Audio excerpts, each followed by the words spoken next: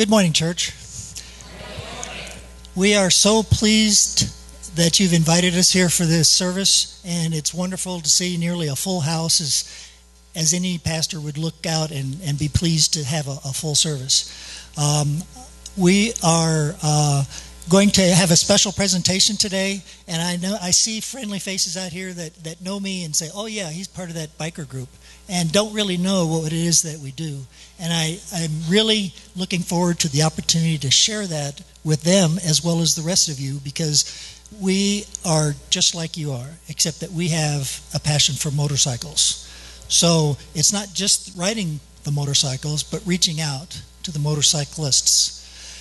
Our organization started, well, let, let me rephrase that. Um, never underestimate the power of God's planning, what He does. The CMA started out with a father son relationship where the father and son wanted to do something together and they rode motorcycles. Soon they began to uh, attend uh, secular motorcycle events and noticed the absence of Jesus at those organizations, those functions. And they prayed about it and said, We would like to do something about it. And back around 1974, 1975, they were able to start this organization known as the Christian Motorcyclists Association.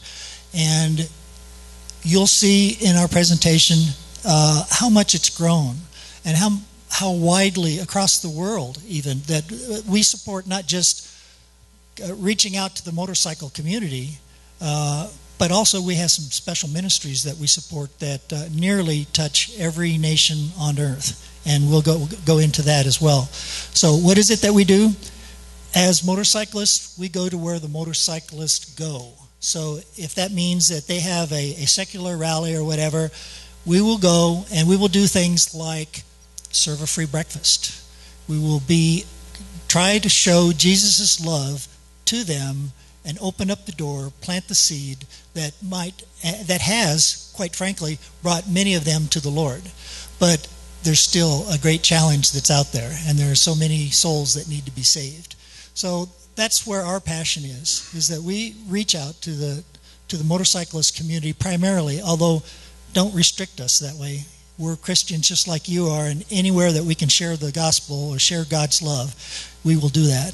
And uh, we have a, a short uh, video presentation that will kind of give you a very quick summary of, of what it is that, that CMA does. And then uh, right after that video, uh, uh, Brother Dave Helm will come up and talk about the Run for the Son ministries that the Christian Motorcyclist Association supports.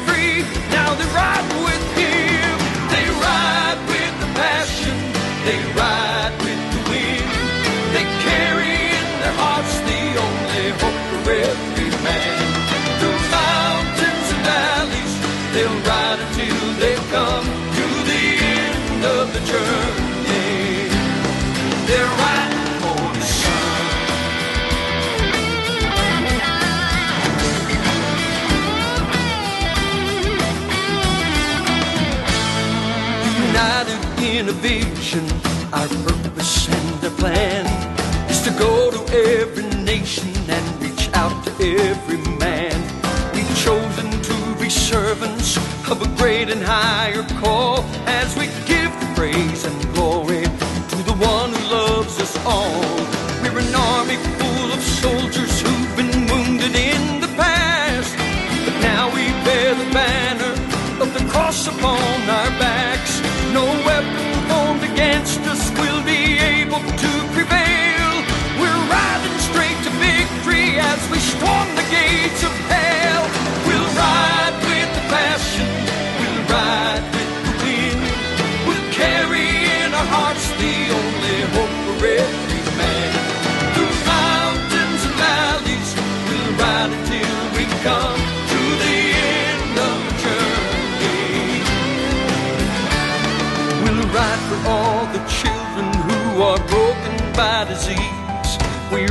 for every prisoner who's lost the will to live.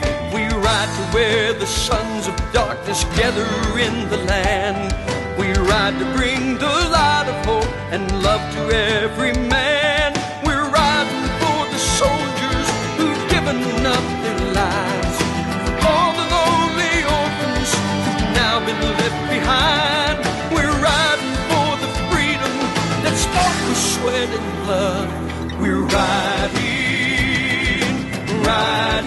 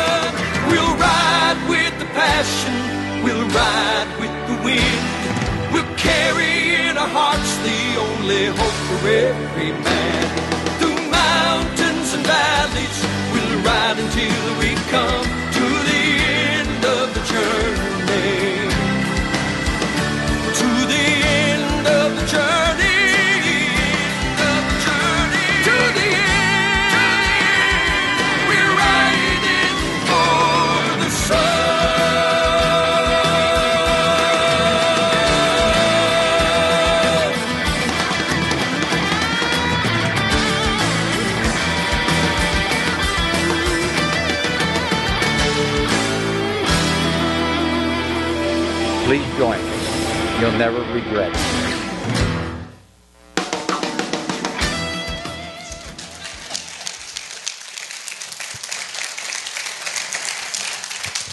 Hi, my name's Dave Helm, and I'm the Run for the Son lead for the San Pedro Servants. And as you can see, the ministry of the Christian Motorcyclist Association is worldwide.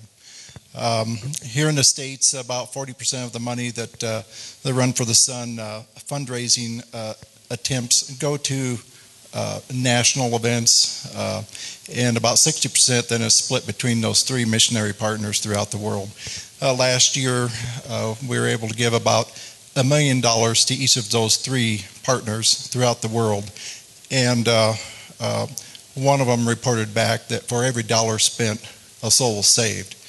Um, the pastors in these countries, the mountainous countries, cannot reach their, their people uh, without transportation. So, with a motorcycle, they can go up over the pass and get into that valley where, surprisingly enough, people have not heard about the gospel of Christ, even to this day. So it's a it's a wonderful blessing to be able to be a part of an organization that uh, has uh, the tools and the ability to magnify their resource, resources in that manner. Um, it's it's it's just an incredible thing, and plus we like motorcycles, so it's a win-win. There's no there's no down to it. Um, but uh, the ministry of the Christian Motorcyclists Association was founded out of a desire to reach out to others with the love of Jesus. From the very beginning, the vision of CMA has been about changing the world one heart at a time. And that's really all you have to do if, if you're going to go out and minister to people is one person, one time, plant the seed and give them a better life. Give them hope. We believe that it's a scriptural command for every Christian and Christian organization to play their part in fulfilling the Great Commission found in Matthew 29 or 28 19, where Jesus tells us, Therefore go and make disciples of all nations, baptizing them in the name of the Father, and the Son, and the Holy Spirit. Um, we covered your prayers for the mission, uh, for the evangelical, uh, evangelistic uh, outreach of uh, Run for the Son. And if you choose to uh, give, that's the only kind of fundraiser that the uh, Run for the Son that the Christian motorcyclists do. Um, and uh, we're going to have some testimonies of how the Christian Motorcyclists Association actually reached uh, real people. And I'll first uh, introduce my friend Mike Pereza, my friend and brother in Christ.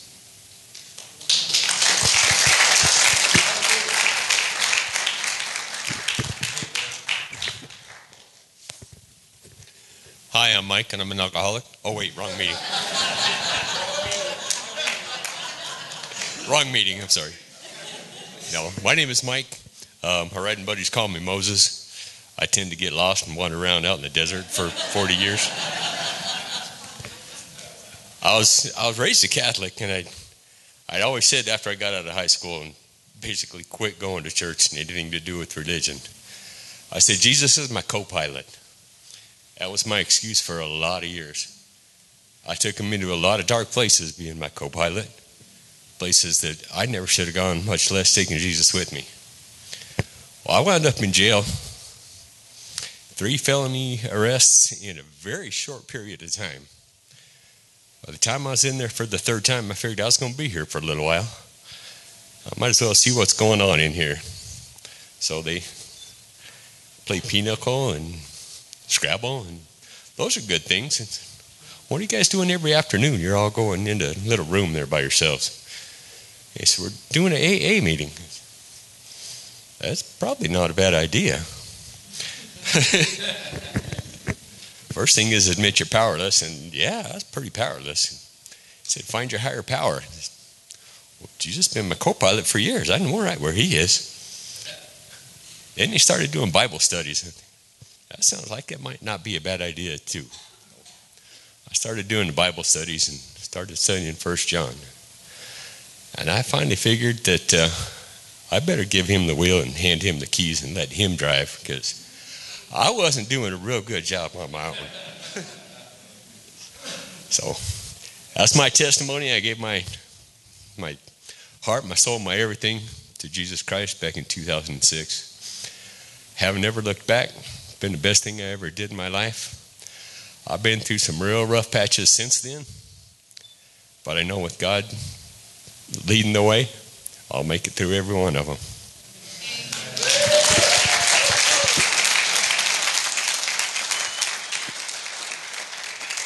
Next, I'd like to introduce Brother Indio.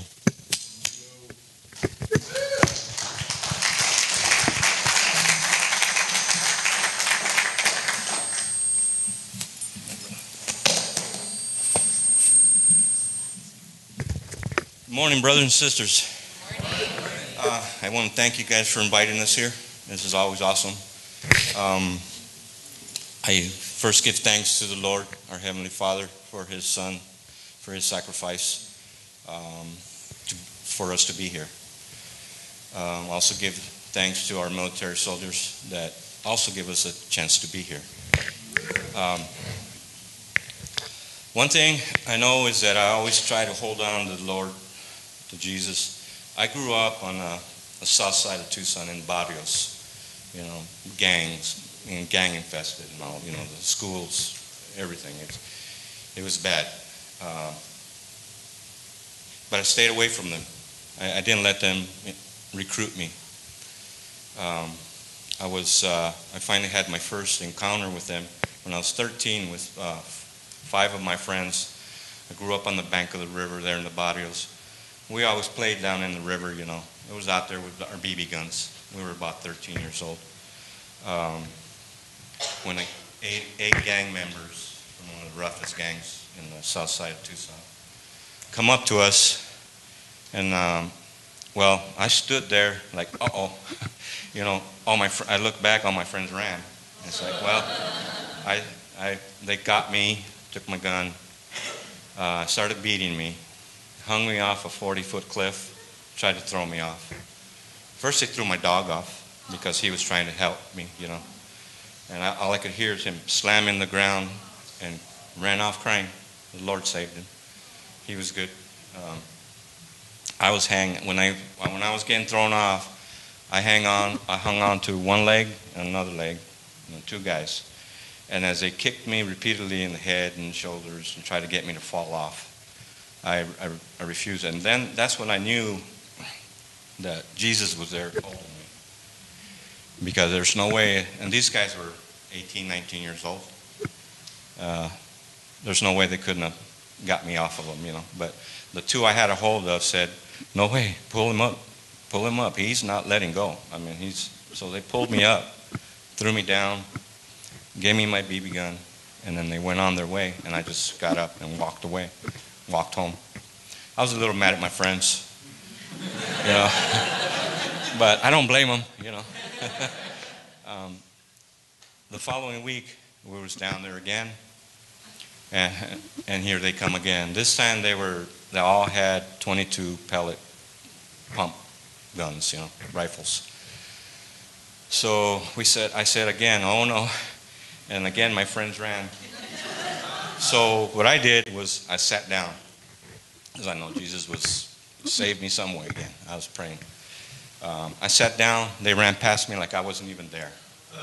And they shot every single one of my friends and, uh, and an older gentleman on his horse was down in the river, tried to stop him. They, they shot him repeatedly, and the horse. And, um, and they all survived. They all were bloody welts, and you know they hurt in 22 caliber. Um, luckily, it ain't these days where they're using real guns. You know, it's uh, it's a shame. So I pray for somehow we reach. We can't reach these gangs with violence we got to reach them with care. And uh, but uh, so throughout my life, Jesus is always there, holding my hand, pulling me out of all the stuff that that I would walk into, you know, and, and get into. So I, um, and now I won't let go of His hand. So I, I, I thank Him every day. Uh, he moves me. Um, I'm, I'm trying. It's hard from where I come from, but I love him number one. Um, and I'm, you know, I grew up Catholic. I got uh, this year, since I've joined this beautiful gang that I that I love, um, I brought nine of my Catholic family to Christ, and I. So, It's, it, has been awesome, um, and I thank God again always. And I thank you all again for letting me share my testimony. Um, love, peace, the Lord always. Um, I want to introduce my brother Sparky, one of my great mentors.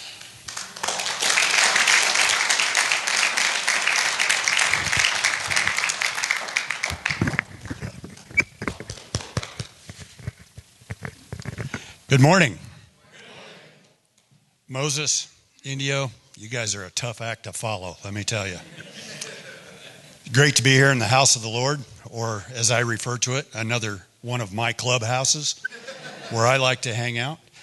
Nice to see all you people here. Thank you so much for having us here today. Uh, I promise I will keep this short and not bore everybody. Thank you very much. I, I'm serious. I guess uh, my story goes back a bit farther than uh, the one gentleman uh, spoke about. Um, my day is uh, 29 years ago, this past March. Um, I had gotten, I was brought up in a uh, conservative church, a lot of legalistic stuff. Seemed like as soon as I got old enough, I could not run fast and far enough from God. I just didn't want anything to do with it. So, as a young man, you get into things that you think are so important. You get into partying, being that guy, trying one drug after another.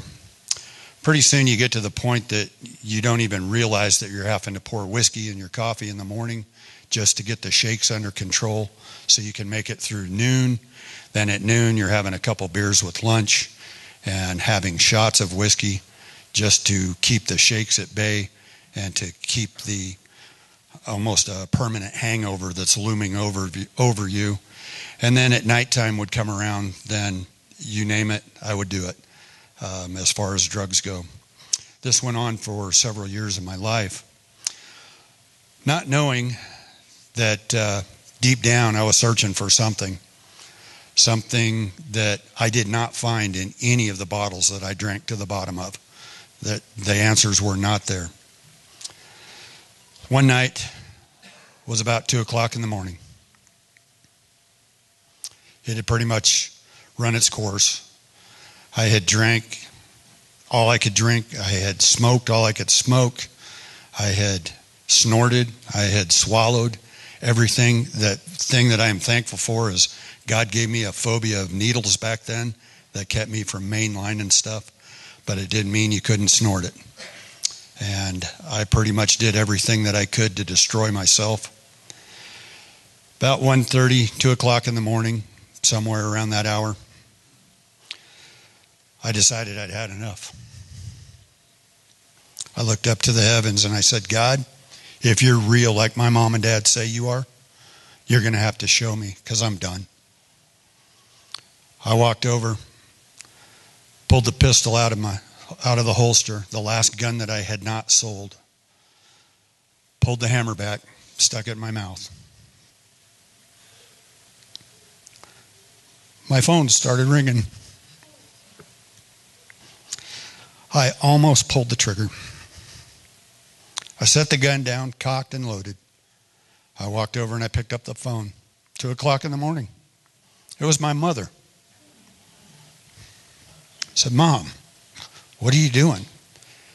She asked me, Mark, are you okay? And completely broke down. No, Mom, I'm not. What's the matter? Everything, Mom. It's all a mess. I was in that dark room, that dark place, right where Satan wanted me to be. And I was just praying, God, please, somebody turn on the light. And he did. I asked him, If you're real, show me.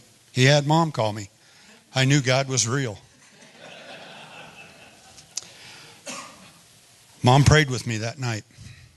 My life changed, and that was 29 years ago, this past March. Um, it's had its struggles. Um, it's been uh, the greatest decision I've ever made in my life. Um, trying to figure out exactly different things about keeping God as your co pilot, and really, He should be your navigator, your, um, your pilot, and your communications officer because He's the one that we need to talk to. So we get, I get through most of my Christian life just kind of cruising. Everything was okay, and uh, it ended up uh, joining a different uh, motorcycle club and wanted to ride. I held three offices in that club and it just seemed like between the job and everything else going on in life, I wasn't able to ride, and I really wanted to. Well, people in the chapter weren't happy with me because I wasn't riding. I wasn't happy with me because I wasn't riding. My motorcycle, Kablooey, he wasn't happy because I wasn't riding. So he just sat in the garage all the time getting garage rash. So, poor thing. And uh, really wasn't serving anything. And uh, God called my father home three years ago last August and called him home to be with the Lord. And uh, I realized at that point that uh, I'd made a huge blunder in my Christian walk, that I had done exactly what God tells us not to, and that's put no other false gods before Him. and I was worshiping that motorcycle. I uh, realized that. I offered to God, I said, God, I'm, I'm going to put Kablooey up for sale.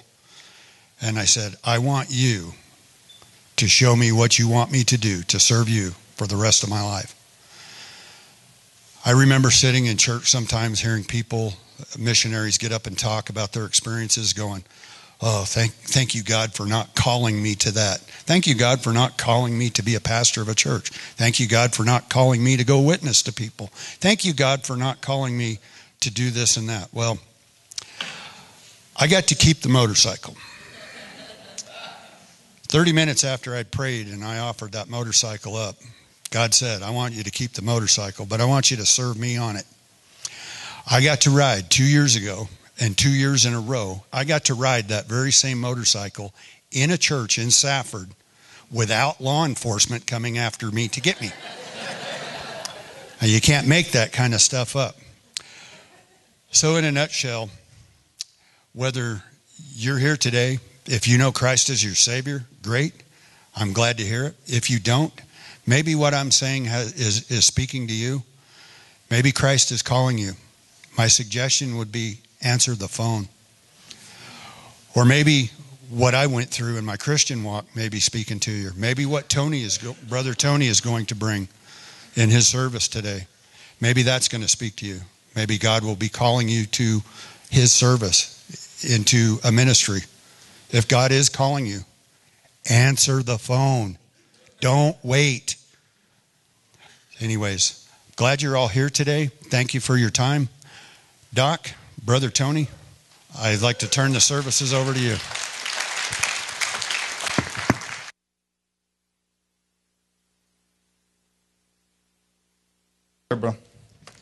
We're huggers. Did you guys notice? Can you all hear me okay? I got this lapel thing on. I got all this technology up here. I used to, you know, do sermons on yellow legal pad, and now I'm using laptops and applications, if I can get this thing to work. Um, I want to thank Pastor Dennis and Pastor Tim for having us out here on this first of what I hope will be many Biker Sundays. Um, we started this Biker Sunday stuff uh, last year with what we called church crashes or church invasions. At our uh, January officers meeting, um, we sit down and we started planning out literally on a map all these different uh, places, churches in Cochise County. Cochise County is kind of big. And um, we would go the first time under the auspices of a crash or an invasion. And uh, if they liked us, they would bring us back. And um, then the next year, it was a Biker Sunday where we would do the message, do testimonies. Aren't testimonies great? And why are testimonies great? Testimonies are great because all of us have them. Nobody starts off being Christ centered. We all start on a spiritual journey. It starts at the same place, right there, and it ends at the same place. But all that stuff in the middle, which becomes the testimony, is the stuff we're supposed to share with one another to help, strengthen, encourage one another to keep going. So, a couple of weeks ago, I was up in Tucson and I was officiating a wedding. And uh, during the uh, rehearsal, everybody's getting introduced to everybody. And uh, I got introduced to Pastor Tim. And uh, we started talking, and I was like, Yeah, you know, um, I'm part of the CMA. And he's like, Oh, I know a CMA guy. And I was like, Really, who? And he said, Dave Helm. And I said, Yeah, I'm going to be uh, speaking at his church here in a couple weeks. He goes, That's my church, man. and that was the beginning of what is turning into an awesome relationship. How many of you know when the Spirit connects, like Jesus and John in the belly of their mothers? they, they just start leaping because it's that common bond, it's that common spirit that ties us all together. And for two weeks now, I've been, I've been just, I, I couldn't wait to get here. And man, you guys have not let me down. This is an awesome body of believers here. When, yeah, give yourselves a hand. During praise and worship, all I could think of was like, wow, God is here. And it's such an awesome feeling when we come together in praise and worship like that and usher Him into the sanctuary and things just start happening. Amen? So I better get going on this because I, I, told my brothers and sisters when I start getting going on God, I don't look at the clock, but they got one of them big vaudeville hooks to come get me if I start getting a little too long winded. I love talking about the Lord, and I got a great, relatively short message here for you, but I think you'll be able to take these principles away with you and apply them to your life. What God gave me to give you today has to deal with change. If you haven't noticed, our world is changing around us at record pace. And it is very easy to get discouraged if you're not talking to God. There's white noise, there's distractions. It's just relatively not good when you turn on the TV or go on the internet, even talking with your coworkers. It's, it's just not good. But if you're in communication with God, God will let you know that even though it might look bad out there, He's getting ready to do something big. Everybody should be excited about. God's getting ready to do something big. That's what I'm talking about. So, if, I love if then statements, if God is getting ready to do something big, then it, it, it, we're obligated to be ready for it. Even though you might hear all that negative stuff out there, as, as we go to these different churches, what, what are we hearing? Record numbers of people joining the church, exponential growth, discipleship, mentoring, people coming to the altar. God's getting ready to do something big. It's all about change. As I mentioned just a minute ago about this spiritual path that starts here and ends when we're done changing and we go on to glory. I want to answer three questions today for you guys. And it has to do with transformation and change. I want to talk about what is transformation, why do we need to change, and how do we change. Sure I can scroll down here.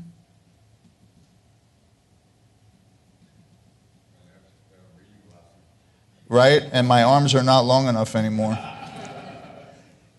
In Romans chapter 12, verse 2, and I like to use the Amplified because there's just more words to explain what God's talking about. Amen. In Romans chapter 12, verse 2, the Bible says, And do not be conformed to this world. Well, I could drop the mic right there. Any longer with its superficial values and customs, but be transformed and progressively changed as you mature spiritually.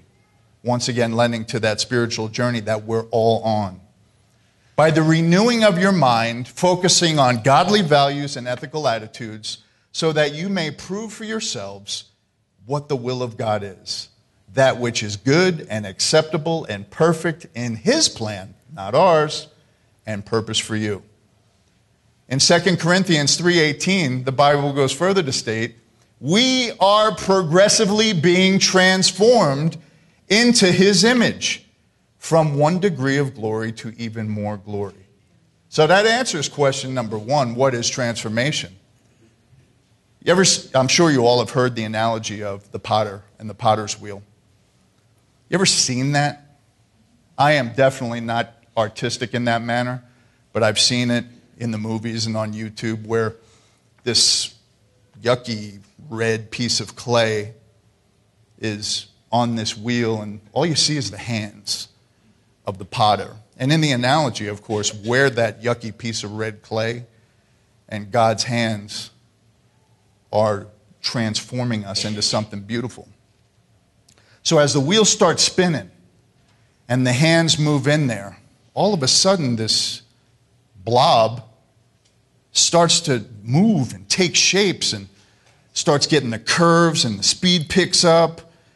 And as long as the hand is in there, something beautiful is emerging. But you ever see when they take the hand off? It just goes back to being that blob again. While the hand is in there, something beautiful is being created. But when the hand is taken off, does everybody feel where I'm going with that? I have four things that you can apply to your life. Some of them are going to sound like Captain Obvious is up here talking on that hotel commercial. It's simple, yet so many believers miss out on what God has in store for them because they don't understand these principles, but even more so, they don't apply them. So, can you take four things with you today after you hear this word and leave these doors and go out? That shouldn't be too hard.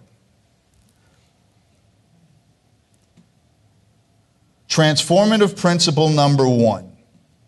What do I mean by that? Am I getting ready to teach chemistry class here?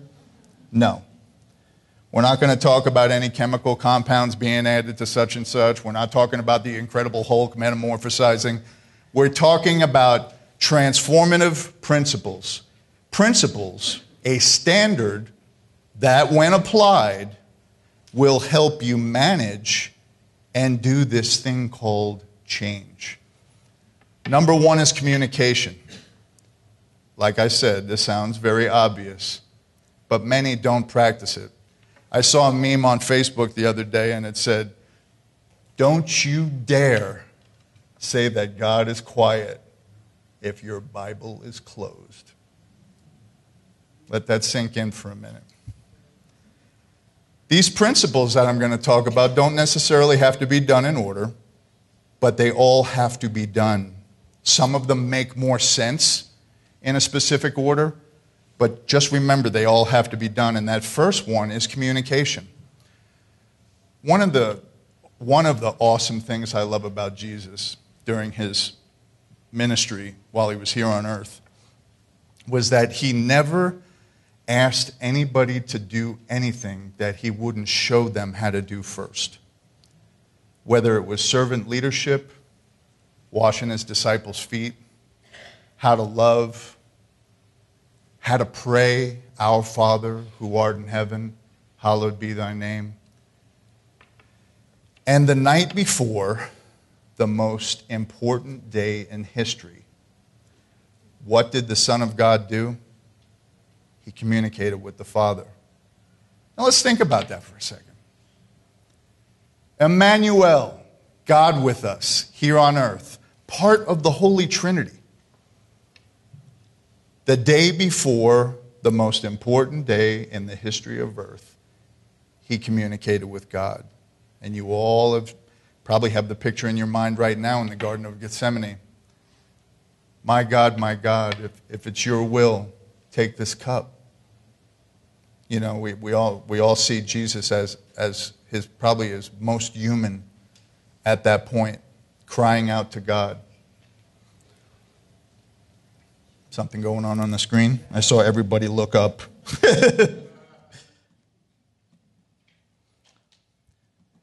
and you can find that, uh, that scripture in, ooh, Lord, have mercy. I, I guess I need a slide flipper. in the Garden of Gethsemane, and, and uh, I think it's Matthew 26, where Jesus is communicating. The principle of communication cannot be underestimated. Even the most mundane things that we go through in our normal, daily, unimportant life, communication with God is critical. If Jesus did it to help him navigate that next day that we're all familiar with, why can't we do the same thing in our lives? I've applied this principle in my life and it makes a huge difference. Because then I'm not leaning on my own understanding, I'm leaning on God to get me through that next day. The next principle is vision.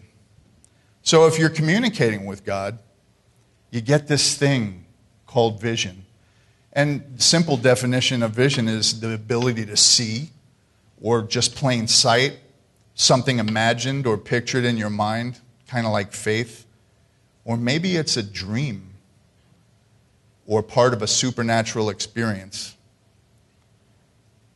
How many people dream and hear God talk to them in their dreams? There's a precedent for it in the Bible. God talked to a lot of people in dreams. John on the island of Patmos, Joseph, of course, from the pit to the prison to the pulpit. God gave Joseph dreams, but Joseph found out that when he shared those dreams with people, it always wasn't received very well. So, a lesson to us is when you're communicating with God and receiving God's vision, have a little discretion about who you tell. You might want to go to your pastor first and run it by him, get some validation, pray about it. But vision is a, is a very important principle that comes after communication. You know, we saw it in Job 33 and in Genesis 37 with Joseph. And what do we know about vision? Without it, the people perish. The bottom line is when you get your vision for God's purpose in your life, it is the best feeling in the world. A couple of years ago, I had my first book published. Never in a million years did I think that I would sit down and write a book. And it's, the title of it is A Sun for All Seasons, which, in a nutshell, is about change. For whatever reason, God gave me a gift of the ability to recognize patterns um, in, in my life, and things kept happening over and over again. And I'd be like, why? Well, when I sat down and communicated with God, and He showed me His vision for my life, I got those answers. And I was able to see why all that stuff happened in each of those seasons of my life and where He was there the whole time.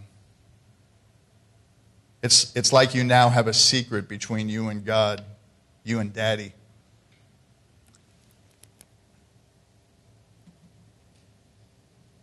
In Job 33, 14 to 16, it, the Bible says, For God speaks once and even twice why has he got to talk to us twice? Because sometimes we don't get it the first time. Yet no one notices it, including you, Job. he could, I could stick Tony in there.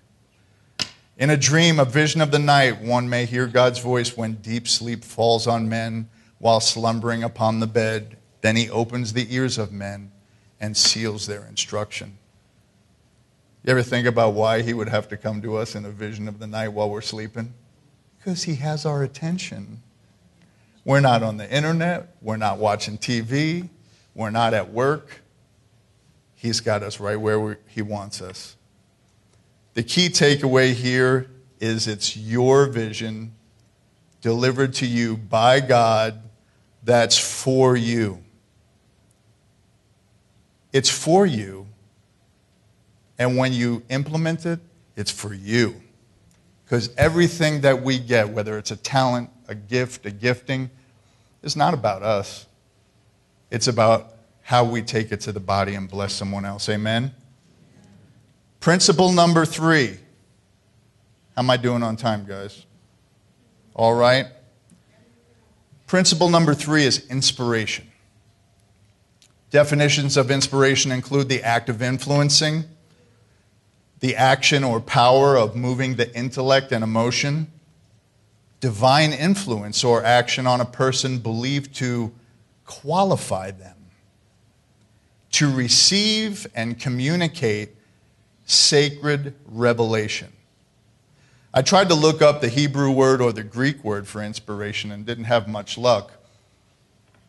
But, and it's not really used in, in that sense in the Bible, but inspiration, when you break it down into its root, has to do with breath or breathing. That spire, like respiration.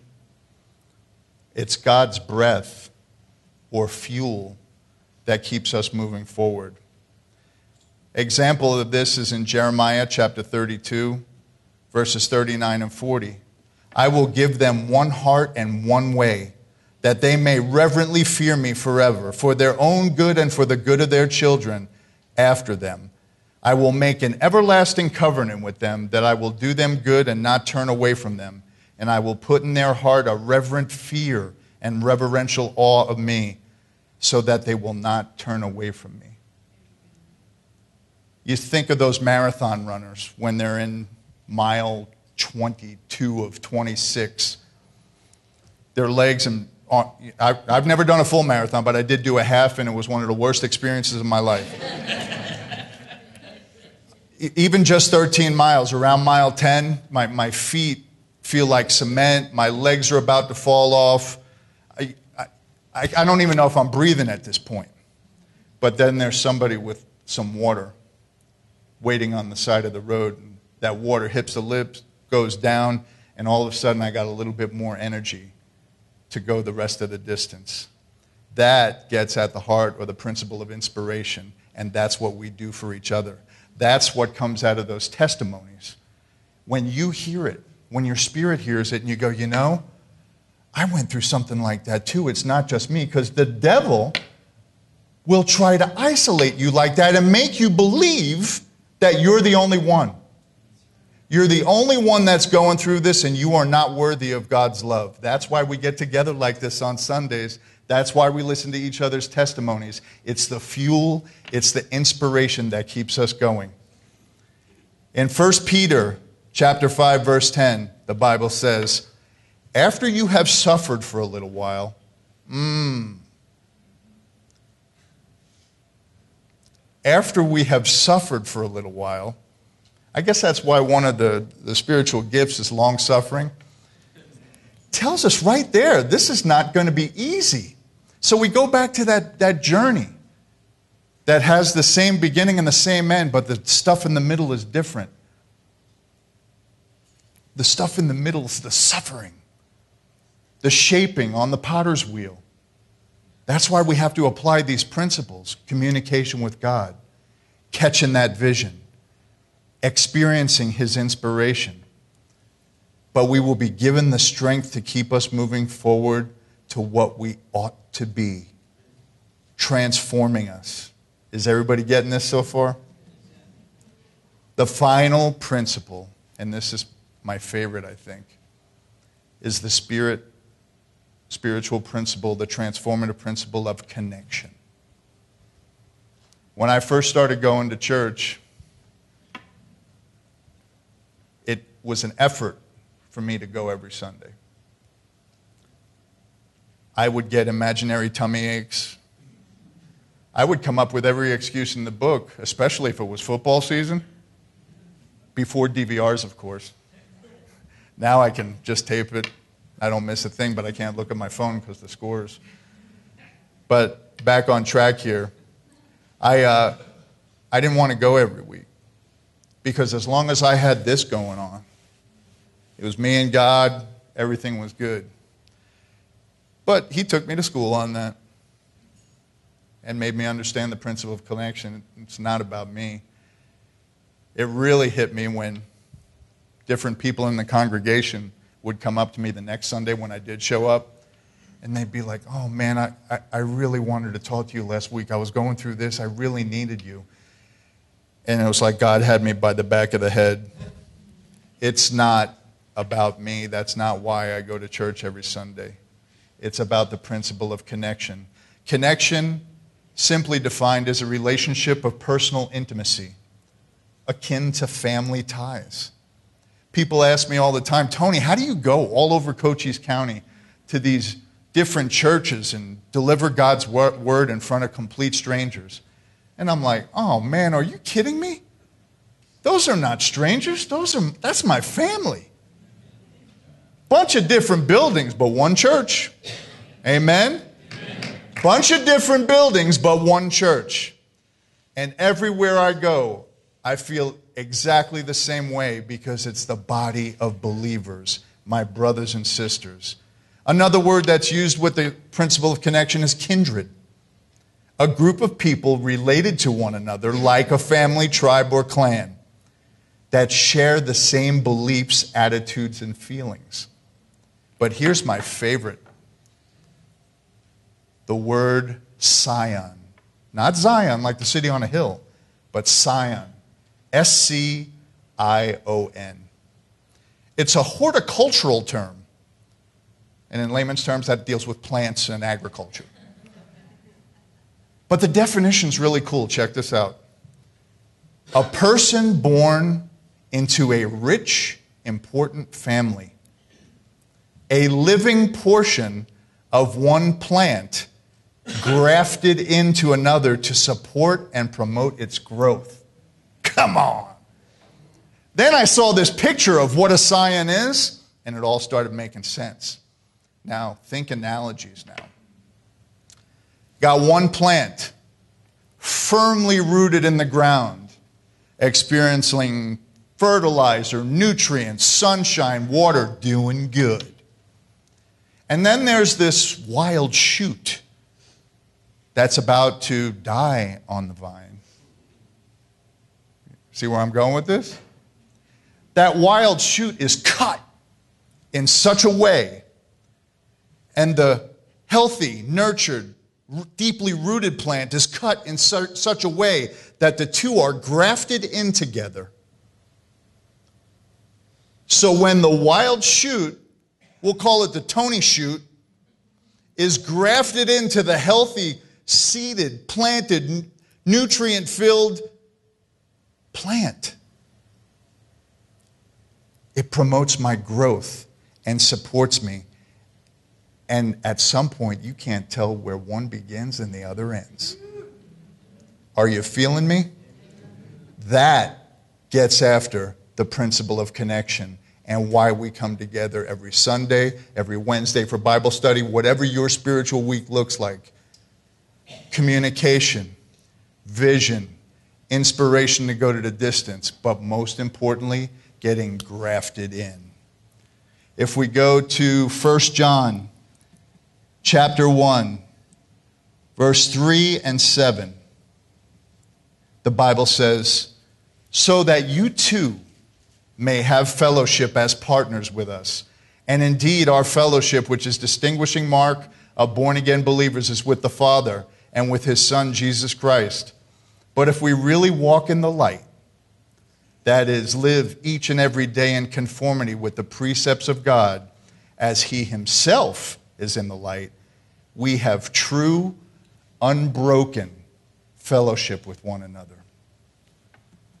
And finally, in Romans chapter 11, verse 17, but if some of the branches were broken off, the wild shoot, and you Gentiles, being like that wild olive shoot, were grafted in among them to share with them the rich root of the olive tree, we are not meant to do the spiritual journey alone. The spiritual journey begins at the altar where we are exploring Christ. We invoke the principle of communication. We begin to grow in Christ when we obtain that vision for our individual lives. Then we get close to Christ as we use the fuel of inspiration. And then we become Christ centered through the principle of connection or grafting in. What happens at the beginning and at the end is irrelevant. What really matters is the time spent in between those points along the spiritual journey. I had to rededicate my life back to Christ in 2004, 2005. I was saved on November 1st, 1981, and like Sparky, I ran very fast from God for 20 some years. And that second experience at the altar was not as nice as the first one. But thank God it happened and I got back to Him. But the time in between the next two points, growing in Christ and then becoming Christ centered, has sped up since then. And now I find myself in many pulpits on many Sundays all across Cochise County. I have no idea what the future holds, but I know God has a plan, God has a vision, and it's awesome. I hope you were blessed by this word today. Remember those four things, guys communication, vision, inspiration, and connection. Get grafted in, stay plugged in, live and fulfill your destiny in Christ. God bless you all.